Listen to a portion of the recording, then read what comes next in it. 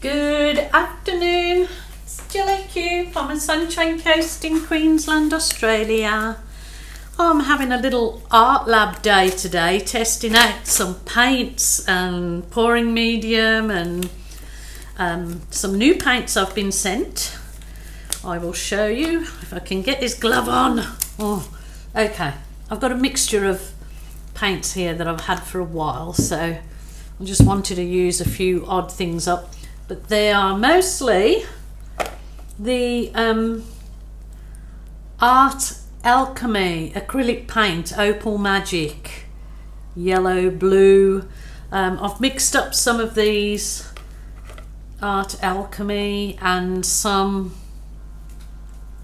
some oh I think they're both the same. Opal magic, art alchemy, and then just uh, acrylic paint, art alchemy, alchemy, is that the word? Now I've mixed these with, um, okay, I've mixed them with the uh, Mont Marte flow medium, so I'm not sure, I think like um, in the US you would probably be mixing them with the uh, Liquitex um, pouring medium, but I thought I've got this on hand, so I just used this acrylic flow medium. And I did put a few drops of the gloss in, so hopefully it dries nice and glossy. So those are what I've used to um, mix up my paints. Oh, and I've also used some of the Dragonfly, the Folk Art Dragonfly glaze. Um, and I've used some of the plaid folk art black sequin metallic. I've used that one and I used some of the uh, other metallic in amethyst and another bit of dragonfly glaze. So I've got a, a real old mixture here. So I'm gonna just see I mean I don't know what it's going to come out like with this particular pouring medium. I did put um, some white paint just with I just mixed it with Floetrol. It's all turned out quite thin these paints. Um, I mean the color shift ones are a little bit thicker but not too thick. The art alchemy that I mixed with the pouring medium say 50-50 I was thickened up a bit because I mixed this all up about two or three hours ago I was going to leave it overnight like I normally do, but I thought, well, it's a pouring medium, we'll give it a go. So there's a right old mixture of paints in there, but oh, that's all glistening, all different sorts of colour. So I haven't used these paints before. So without further ado, do do, let's get this show on the road. So thank you all for joining me. Thanks so much for subscribing to my channel. I appreciate each and every one of you, I truly do. So if you haven't subscribed, please do so. It is appreciated. So I'm just going to pour some white paint. This was just thinned down with Floetrol, a bit of Floetrol, but mostly water. So I'm going to just use this little flip cup, so a flip and lip. So I'm going to pour a bit of the white into the bottom, which is the one that has the Floetrol in it.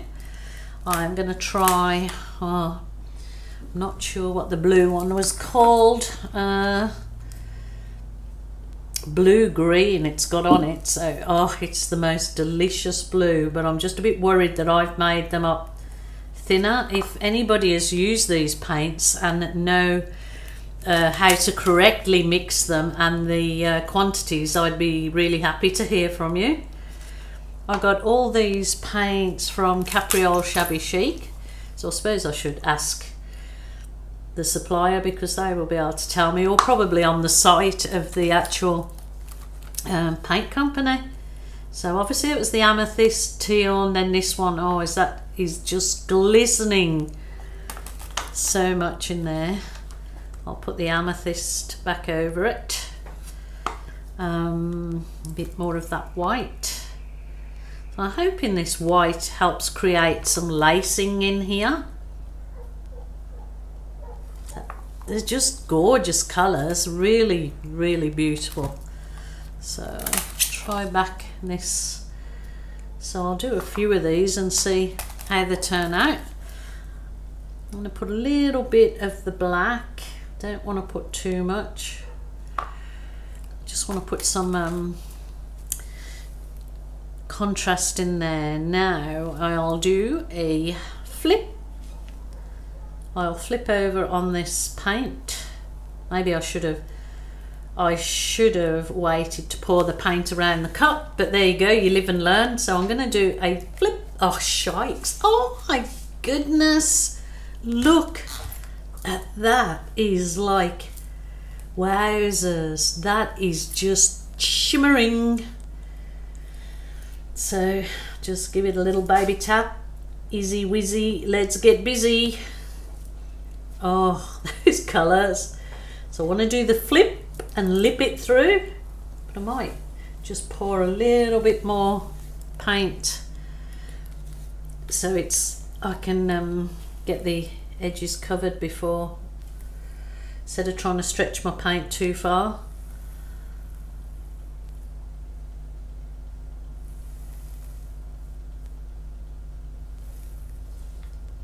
Gorgeous. Oh, I like it just like that. That is just so shimmery.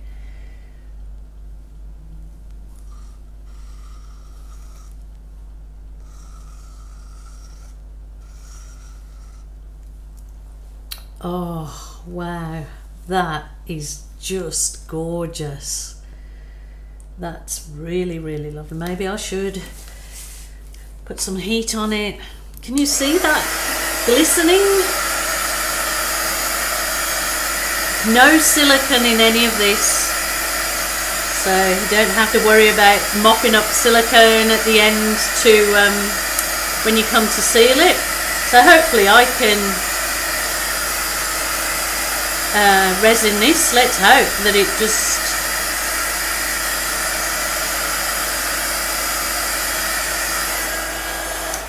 Wow. I just like it like this. I don't want to do anything to it. I suppose you don't have to, but I've got to spread some of the paint around. Otherwise it will crack if it's this thick. Very, very, oh my goodness. It's very runny. So if somebody does know what I should be using or if it this is how it should be mixed, I suppose I can just go to the site would probably be the best thing. Now I wish I'd added a bit more of the black because I think that would have, because I've run it off basically. I'm not worried about the very tippies because I can just finger pop them. Somebody asked me if the word finger pop was an Australian. No, I don't know where I've got that from.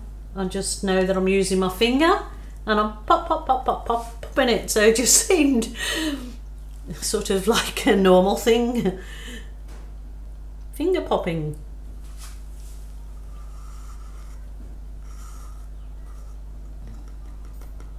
Oh, that is so gorgeous. That is beautiful. I'm going to just, oh, look at that paint underneath. I should definitely dip some coasters in that. I will get coaster in a minute, but I just want to use my finger and pop the edge. So what do you think, guys?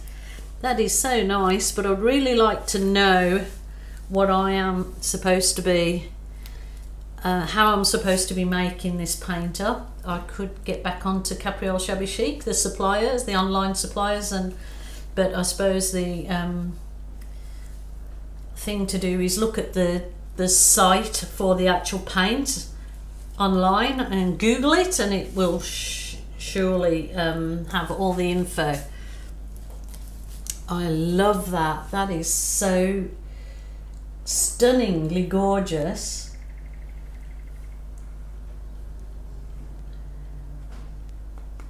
Lovely. That is just glistening. It's beautiful. Absolutely beautiful. Love it. Love it, love it. I will definitely be doing more of these. It is just shimmery because it has got the dragonfly glaze in it too. So look at what that dragonfly glaze is just gorgeous. I'm just going to heat it and see.